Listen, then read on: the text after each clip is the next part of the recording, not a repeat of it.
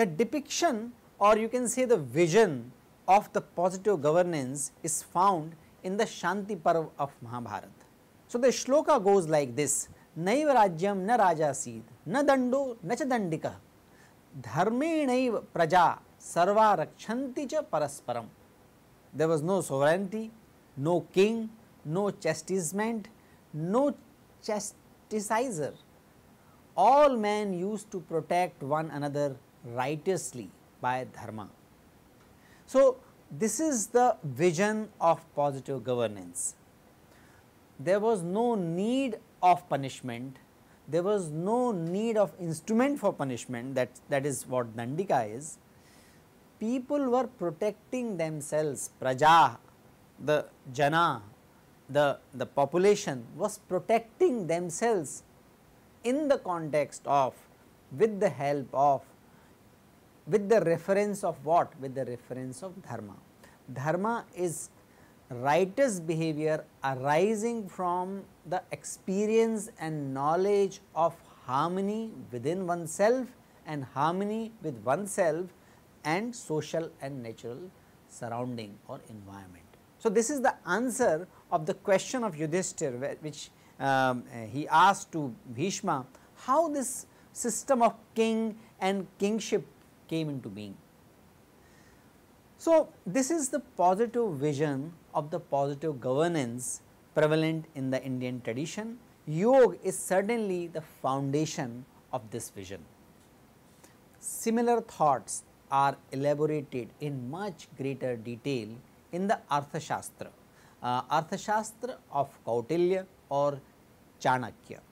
Arthashastra is perhaps the most ancient text about governance, about socio-economic, uh, about the economic system and this was written by Acharya Vishnugupta or Chanakya or Kautilya. He is, uh, was the mentor of Chandragupta Maurya which is considered to be the golden period of human history.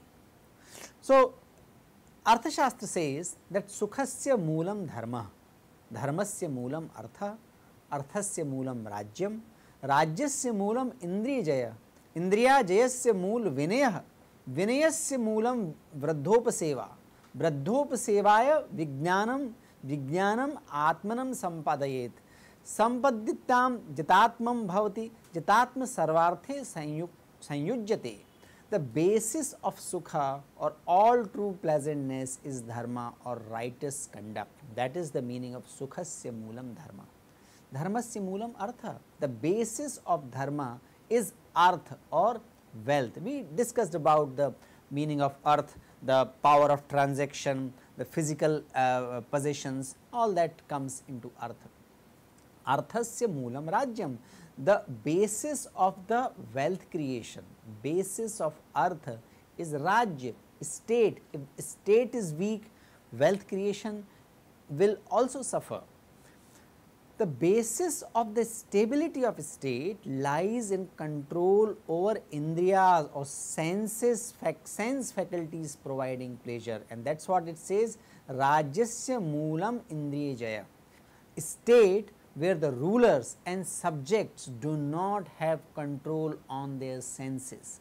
If they let their sense pleasure and urge to enjoy sense ple pleasure, uh, let if they let loose this without conscious understanding of the harmony within and harmony around, then the state will not remain stable.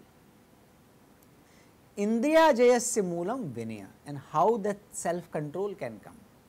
The self control can come through humility. Humility meaning understanding the limitation of my knowledge and understanding limitation of my capability. Until I understand that I have limited knowledge, I will not strive to know more. I will not get into self reflection. I will not get into the self introspection.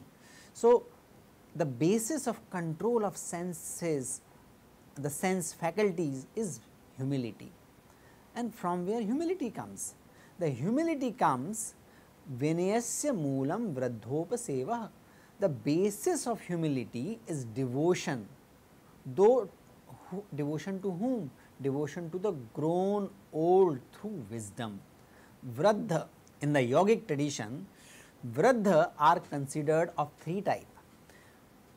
Vayovradha means those who are uh, Vradha or old uh, by age, Jnanavraddha, those who are old by knowledge and Tapovradha those who are old because of their penance, their sacrifice, their rigor in pursuance of the dharmic objective, the pursuance of the true knowledge.